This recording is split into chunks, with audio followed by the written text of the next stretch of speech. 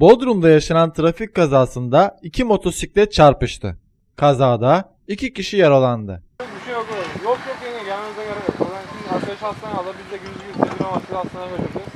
Akşam saatlerinde Konacık Mahallesi Lise Caddesi'nden İsmet Paşa Caddesi'ne dönüş yapmak isteyen iki motosiklet sürücülerinin bir anlık dikkatsizliği sonucu çarpıştı. Kazada motosikletlerden birinde bulunan sürücü ve yolcu yaralandı.